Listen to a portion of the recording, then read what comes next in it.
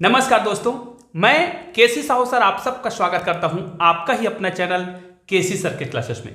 दोस्तों, आज का वीडियो विशेष है और इस वीडियो को मैं विशेष वीडियो इसलिए बोल रहा हूँ क्योंकि आज का वीडियो खास आप लोगों के लिए है और आप लोगों के लिए इसलिए भी कह रहा हूँ क्योंकि आज मैं आप लोगों के लिए एक प्रश्न लाया हूँ। जी हाँ, और उस प्रश्न के उत्तर आप लोगों से ही लेना है मुझे। और आप लोग यदि उस वीडियो के कमेंट करते हो तो उस कमेंट को आधार मानकर मैं अगला वीडियो बनाऊँगा। जी हाँ आज मैं प्रश्न करूँगा, उसका उत्तर आपको देना है और आप जो उत्तर दोगे, उसी के आधार पर मैं एक और वीडियो बनाऊँगा, जिस पर मैं हल करूँगा उस प्रश्न के उत्तर को। और उस वीडियो में आपका जो बताया गया उत्तर होगा, उसको मैं स्क्रीन भी दिखाऊँगा, लेकिन कब तक, जब तक वो वीडियो मैं बना लूँ, तब तक आप कमेंट करते हो, है ना? और वीडियो बनाने के बाद आप कमेंट करोगे तो फिर मैं उसमें स्क्रीन नहीं दिखा पाऊँगा। तो आप लोग जल्दी से जल्द इस प्रश्न का कमेंट ज़रूर कीजिएगा, लेकिन उस प्रश्न को मैं वीडियो के लास्ट में बताऊँगा, ठीक है? उस प्रश्न का कमेंट आपको करना है। लेकिन आज का वीडियो किस आधार पर है? क्योंकि ये दोनों प्रश्न लगभग समथिंग है, एक ही टाइप का है, इसलिए मैं इस प्रकार के क्वेश्चन आप लोगों के लिए लाया हूँ। क्योंकि आप सभी जानते हो कि आप लोग मेरे लिए विशेष हो, इसलिए मैंने सोचा कि चलो क्यों ना आप लोगों के लिए एक विशेष वीडियो बनाया जाए। तो आज का वीडियो तो आपके लिए विशेष है, लेकिन अगला वीडियो जो होगा वो खास आप लोगों के लिए। तो आइए दोस्तों, आज का वीडियो प्रारंभ करते हैं। त्रुटि वाला लड्डू, आज का जो वीडियो है, आज का जो प्रश्न है, वो त्रुटि वाला लड्डू पर आधारित है। जी हाँ जिसको क्या करेगा? उपहार में देगा। और ये बड़ा सिंपल सा प्रश्न है, लेकिन जब हमने इसको बचपन में सुना था तो हमारा दिमाग घूम जाता था। छोटे बच्चे थे तब, भाई। लेकिन जब हम बड़े क्लास में गए, मिडिल स्कूल में गए, तब इसको हमने बहुत आसानी से सीख लिया। लेकिन एक दुकानदार था, वो बड़ा सातिर था और वो क्या था, मान लीजिए उनके पास बहुत सारी मिठाई का दुकान है और वो मिठाइयों को बेचता था। तो उनका दिमाग इतना तेज था तो वो क्या करता था, बच्चों को भी खेल खेल में ही गणित सिखाने का उसका एक आदत बन गया था। तो उसने क्या सोचा कि उसके पास मिठाई का डिब्बा तो था ही, है ना? तो उस मिठाई के डिब्बे में उसने लड्डुओं को भरा, ठीक है? इस प्रकार उसने लड्डुओं को भरा तो उसमें कुल नौ लड्डू थे। ठीक है? लेकिन उसने जान बूझकर, है ना? जान सुनकर खा जाए, उसने एक लड्डू को ऐसा भरा, ऐसा बनाया था, जो दिखने में एकदम सेम था डिक्टो था डिक्टो समझ आ रहा है ना? लेकिन उनका जो वज़न है, वो थोड़ा भारी था, अन्य लड्डुओं से। लेकिन आप देख के नहीं बता सकते कि उनका वज़न भारी है, ठीक है? तो इस दुकानदार ने सोचा कि कोई भी बच्चा जब मेरे पास आएगा लड्डू खरीदने तो मैं उनके सामने एक शर्त रखूँगा और उनको उस लड्डू को उपहार में दे दूँगा, यदि वो मेरे शर्तों को पूरा करता है। तो आइए क्या शर्त है, उसको देखते हैं और सुनते हैं। और हाँ अगर आपने चैनल को अभी तक सब्सक्राइब नहीं किया है ना तो चैनल को सब्सक्राइब करके बेल आइकन को प्रेस कर दीजिएगा और आल को टच करना ना भूलिएगा, क्योंकि ऐसे ही बेहतरीन वीडियो का नोटिफिकेशन आपको मिलता रहे और आप उन वीडियो का लाभ उठाते रहे। तो आइए फिर आज का वीडियो प्रारंभ करते हैं। फिर एक लड़का उनके पास दुकान में आया। और दुकान में जैसे आया तो दुकानदार ने कहा, ठीक है, मैं आपको लड्डू देता हूँ, लेकिन आपके सामने मैं एक प्रश्न रख रहा हूँ। वो बच्चा भी बड़ा सातिर दिमाग वाला था। तो दुकानदार ने एक शर्त रखा कि भाई, यहाँ पर देखिए मेरे पास नौ लड्डू है, इस डिब्बे में नौ लड्डू है, लेकिन इसमें से एक लड्डू जो है, वज़न में थोड़ा भारी है। और आपको मैं एक तराजू देता हूँ, ध्यान दीजिएगा, आजकल का तराजू नहीं है, आजकल तो इलेक्ट्रॉनिक तराजू होता है, उसमें किधर भी रखे, दो पलड़े की आवश्यकता नहीं होती है, एक ही पलड़ा होता है आजकल, लेकिन पुराने जमाने में दो पलड़े होते थे, है ना? तो किस प्रकार होता था? ये आपका हो गया तराजू। तो इधर भी क्या होगा? पलड़ा होगा, और इधर भी पलड़ा होगा। दोनों साइड पलड़ा होता है, और उसमें रखा होता है इस प्रकार सामान रखने के लिए एक बर्तन, पात्र, है ना? उसी प्रकार इधर भी होगा, ये देखिए, ठीक है? अब उसने कहा कि आपका एक शर्त यह है, बच्चे को कह दिया कि भाई ये तराजू के जो पलड़े है, उसमें आप केवल दो बार में तोलना है। केवल और केवल दो बार में तौल के आपको बताना है कि इन नौ लड्डुओं में कौन सा लड्डू भारी है। और यदि आपने बता दिया, केवल दो तौल में बताना है भाई, और यदि आपने बता दिया तो वो जो लड्डू जिसको आप तौल कर निकालोगे कि ये लड्डू जो है बड़ा है मतलब साइज़ में नहीं, वज़न में वज़न में अधिक है तो वो लड्डू आपको उपहार में दिया जाएगा। तो उस लड़के ने दिमाग लगाया, बड़ा सातिर दिमाग था उनका भी, ठीक है?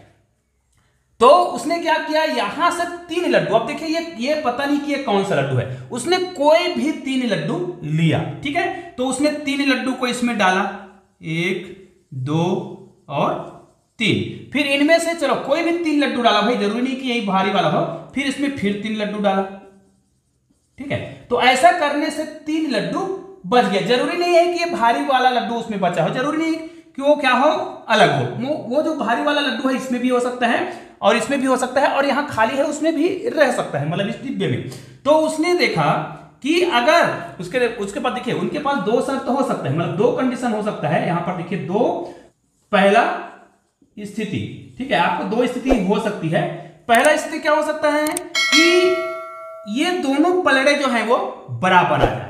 दोनों पलड़े अगर बराबर आ जाते हैं तो बच्चा जान जाता है कि निश्चित रूप से भारी वाला जो लड्डू है, इसमें है, इन तीनों में है। ठीक है? तो वो क्या करेगा? इनको तो छोड़ देगा। लेकिन बाय द वे इनमें से कोई एक पलड़ा नीचे आता है और एक पलड़ा ऊपर जाता है। तो ध्यान दीजिए, जो पलड़ा नीचे जा रहा है, उसमें आपके भारी वाले लड्डू मौजूद होंगे, जो पलड़ा नीचे जाएगा उसमें। ठीक है? चाहे तो ये वाला भी नीचे जा सकता है भाई, और ये वाला भी ऊपर जा सकता है। तो कोई भी एक पलड़ा ऊपर जाएगा और एक नीचे जाएगा।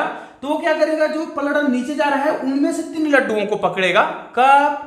दूसरा कंडीशन कौन? जब क्या करेगा? मतलब दोनों में से कोई बराबर ना हो। पहला तो हो गया ये। दूसरा स्थिति क्या बोलता है? जब दोनों पलड़े बराबर ना हो, एक पलड़ा नीचे जाए तो नीचे जो पलड़ा जा रहा होगा, उनमें से तीन लड्डू को पकड़ेगा।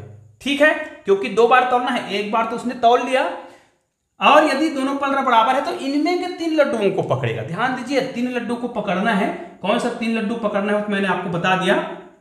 अगर दोनों पलड़े बराबर हैं तो यहाँ से तीन लड्डू को पकड़ेगा, और दोनों पलड़ों में से कोई नीचे जा रहा है, उनमें से तीन लड्डू को पकड़ेगा। अब इन्हीं तीन लड्डुओं में वो त्रुटिपूर्ण लड्डू मौजूद है। तो क्या करेगा? एक लड्डू को इसमें डालेगा। जो पलड़ा नीचे जा रहा था, उनमें का पकड़ेगा, या फिर इनमें से पकड़ेगा, ठीक है? क्योंकि पता है, अगर पलड़ा बराबर है तो इनमें त्रुटिपूर्ण है। अब देखिए, इनमें से कोई भी लड्डू को क्या कर रहा है? एक लड्डू इसने इसमें डाला और एक लड्डू को इसने इसमें डाला।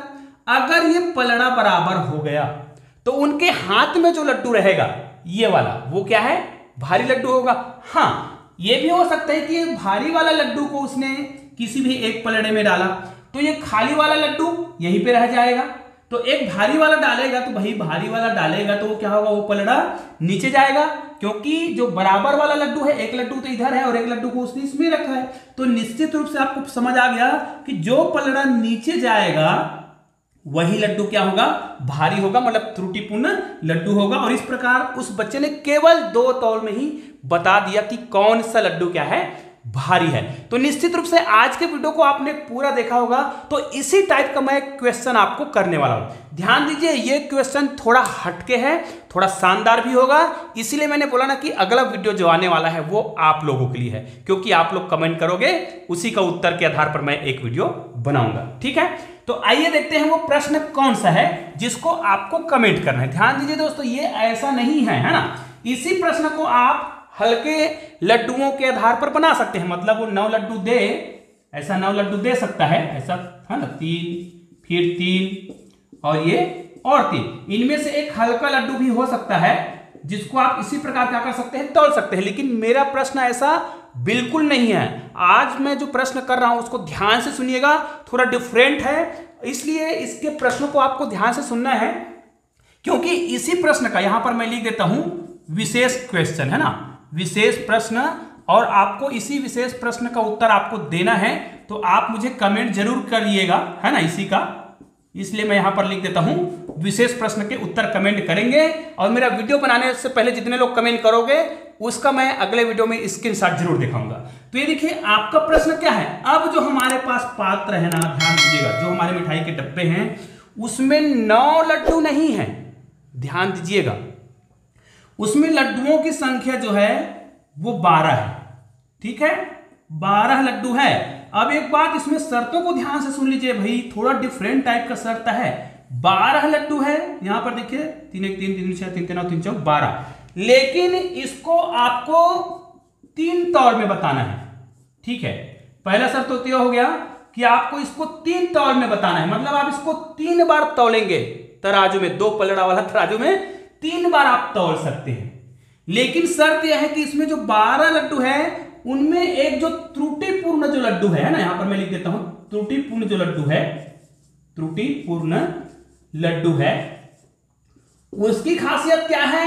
ना तो हमको पता है कि वो भारी है या हल्का है। आज के प्रश्न में हमने देखा कि पता था कि वो क्या है, या तो भारी है या फिर हल्का है। लेकिन हमें यह नहीं पता है कि ये लड्डू हल्का है या भारी है? अब आपको तीन तौल में यह बताना है कि वो कौन सा लड्डू है जो त्रुटिपूर्ण है। और आपको यह भी बताना है कि वो लड्डू जो है भारी है या फिर अन्य लड्डुओं से हल्का है। तो है ना प्रश्न थोड़ा से हटके? और इसका प्रश्न का जो उत्तर है, आप कमेंट करेंगे मुझे, है ना? और मैं अगला वीडियो बनाऊँगा आपके कमेंट के आधार पर। तो जल्दी जल्दी आप लोग क्या करिएगा, इसका कमेंट कीजिए पूरा उत्तर बना के मुझे कमेंट कीजिएगा। फिर अगले वीडियो में आपके पूरे प्रश्न का जो उत्तर है, उसका स्क्रीन और आपका नाम मैं अगले वीडियो में दिखाऊँगा। तो दोस्तों, निश्चित रूप से आप इस प्रश्न का उत्तर मुझे कमेंट ज़रूर करेंगे। और हाँ आपने अभी तक चैनल को सब्सक्राइब नहीं किए है ना तो मेरे तो नीचे मेरे चैनल को लोगो दिखाई दे उसको क्लिक करके चैनल को सब्सक्राइब कर दीजिएगा और बगल में दो शानदार वीडियो दिखाई दे रहे हैं, उनको क्लिक करके वीडियो का आनंद लीजिएगा। तो दोस्तों, मिलते हैं ऐसे ही बेहतरीन वीडियो के साथ, तब तक के लिए जय हिंद, जय भारत।